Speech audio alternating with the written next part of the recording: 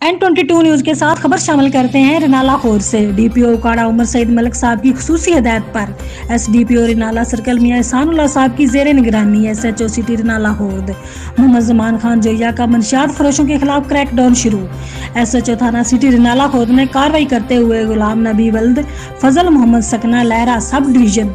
रिनाला खोद चालू भट्टी शराब बमा 110 लीटर देसी शराब और 400 लीटर लाम बरामद करके मुकदमा दर्ज कर लिया एस एच ओ थाना सिटी रिनाला खोर मोहम्मद जमान खान जोया ने इस अज़म का अदा किया है कि मनशात फरोश माफिया माशरे को दीमक की तरह चाट रहे हैं। इनका खात्मा नागजीर है। रिपोर्ट मोहम्मद रिजवान चूचक।